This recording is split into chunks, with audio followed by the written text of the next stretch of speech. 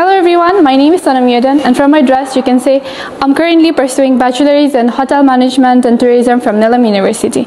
I'm really grateful that I'm a part of NIILM University because earlier I was having really tough time on which university to choose. So finally I came across NIILM University and I'm, I'm happy to be a part of it because they provide you with the professional teachers, all the practicals that you need and the plus point is you get placement and abroad. What more do you need from this? And after that you can see the campus are really big.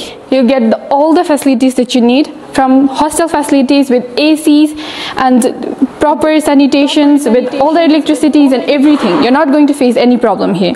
We have good campus, transportations, and we have all those facilities that we are required with. And the thing is, we have better facilities in library, the practicals, and all the friends that you need here. So my friends, what are you waiting for? Please grab the opportunity and take admissions here. We'll be really grateful to welcome you here.